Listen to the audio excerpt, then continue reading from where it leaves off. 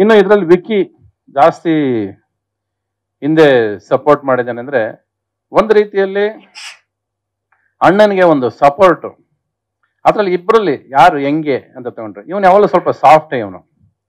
ಇವನಿಗೆ ನುಗ್ಗೋ ಕ್ಯಾರೆಕ್ಟರ್ ಕಡಿಮೆ. ಅವನಿಗೆ ನುಗ್ಗೋದು ಜಾಸ್ತಿ. ಸೊ ಇವೆರಡೂ ಜೊತೆ ಸೇರಿದಾಗ ಒಂದು ಪಾತ್ರ ಕಂಪ್ಲೀಟ್ ಆಗುತ್ತೆ. ನಾನು ಇದ್ದೀನಿ ನಿನ್ನಿಂದ ಹೋಗು ಮುಂದಕ್ಕೆ ಅನ್ನೋದು ಧೈರ್ಯದಲ್ಲಿ ಓಡಾಡ್ದ. ಮನೆ ಕೇಳಿದ ಪ್ರಚಾರ ಹೇಗ್ ಮಾಡ್ತಾ ಇದ್ಯಾ ನೀವೇನ್ ಮಾಡ, ಬರೀ ಪೋಸ್ಟ್ ಅಂಟಿಸ್ಬಿಟ್ರೆ ಸಾಕ ನೀವು? ಟಿವಿಯಲ್ಲಿ ಎಲ್ಲಾರನ್ನ ಕರೆದು ಕುಣಿಸ್ಕೊಂಡು ನೀವು ಸಪೋರ್ಟ್ ಮಾಡಿ ಸಪೋರ್ಟ್ ಮಾಡಿದ್ರೆ ಸಪೋರ್ಟ್ ಏನಕ್ಕೆ ಮಾಡ್ಬೇಕು ನಿಮಗೆ?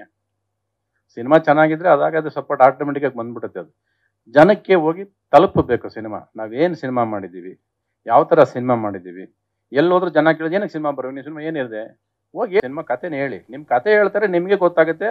ಅದ್ರಲ್ಲಿ ಕತೆ ಇದೆಯಾ, ಕತೆ ಇಲ್ಲವಾ, ಏನೋ ಮಿಸ್ ಮಾಡ್ತಾ ಇದೀವ ಅನ್ನೋದು ಗೊತ್ತಾಗ ಸ್ಟಾರ್ಟ್ ಆಗುತ್ತೆ.